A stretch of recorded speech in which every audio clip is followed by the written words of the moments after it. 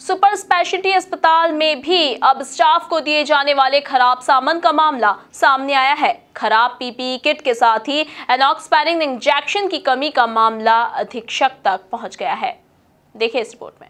Super speciality अस्पताल शुरू हुए कुछ माह गुजरते ही अव्यवस्थाएँ सामने आने लगी हैं। अस्पताल में उपयोग में आने वाली जीवन रक्षक दवाओं, ग्लव्स व पीपीई किट की कमी व उनकी गुणवत्ता से जुड़ी समस्या उठने लगी है। अस्पताल में इस वक्त जीवन रक्षक एनॉक्सपैरिन इंजेक्शन की कमी महसूस हो रही है, जिसे वो स्टॉक में मौजूद इंजेक्शन से पूरा करने का प्रयास कर रहे हैं।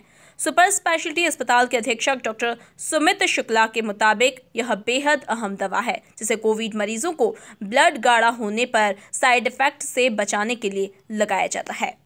कुछ दिनों से एनॉक्सीपेरिन जो है वो हमें नहीं मिल रही है, लेकिन हमारे स्टॉक में अभी कुछ दवाइयाँ हैं।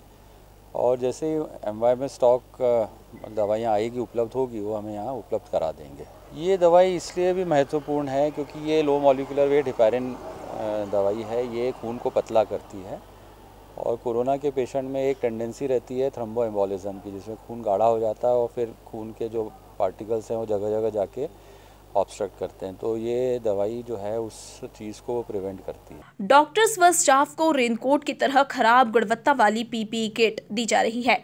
डॉक्टर सुमित शुक्ला ने बताया कि किट का प्लास्टिक कोट बहुत ज़्यादा है जिसकी वजह से नॉन ब्रिदेबल कैटेगरी की किट बन जाती है जिसे लंबे समय तक पहनना मुश्किल हो जाता है।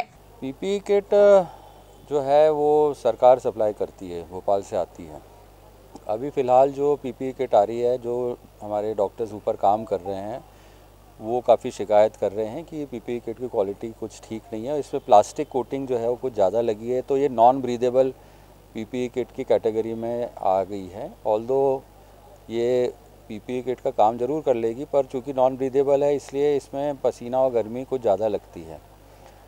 इससे जो छः घंटे, आठ घंटे, दस घंटे की ड्यूटी हमारे जो डॉक्टर्स और नर्सिंग स्टाफ कर रहे हैं, उनको बहुत तकलीफ़ हो रही है, गर्मी लग रही है, पसीना ज़्यादा आ रहा है।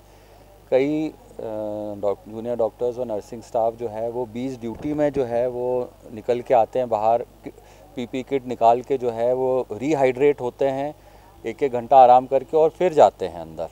तो समस्याएँ तो जो है, उससे आ रही है।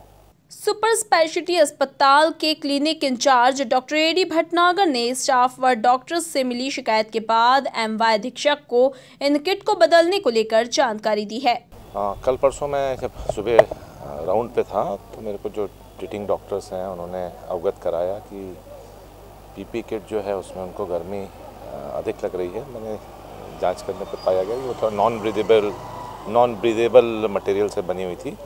जिसमें हवा का आदान प्रदान नहीं हो पाता, इस कारण उनको गर्मी भी ज़्यादा लगती है, थोड़ा मौसम भी प्रतिकूल है और ऐसे में जब सेंट्रल एयर कंडीशन नहीं है बिल्डिंग तो वो लोग डिस्कम्फर्ट फील करते हैं। ऐसे में कई बार ऐसा होता है कि बीच बीच में उतारना पड़ता है क्योंकि जब पसीना ज़्यादा आता है तो वाजिब है प्यास भी ज़्यादा लगती है, पीपी किट में पानी पीना पीना संभव नहीं हो पाता। तो बार बार चेंज करनी पड़ती है, वो थोड़ा सा असहज महसूस करते हैं। कई दो तीन लोगों को चक्कर भी आए थे इसमें। तो ये संज्ञान मैं अधीक्षक के नॉलेज में लाया है, मैंने इसको। और उन्होंने इसके लिए समुचित कार्रवाई का आश्वासन दिया है। और आशा है कि जल्दी से जल्दी ये प्रॉब्लम सॉल्व होगी। सरकारी अस्पतालों में पहले से ही इलाज को लेकर सवाल उठाए जाते हैं। हाल ही में बने सुपर स्पेशलिटी अस्पताल में क्लिनिकल सामान की खराब क्वालिटी को लेकर सवाल उठाए जा रहे हैं। ऐसे में कोरोना से जंग लड़ना कितना मुश्किल हो जाएगा, ये कहा नहीं जा सकता। Bureau report, MP news, Indore.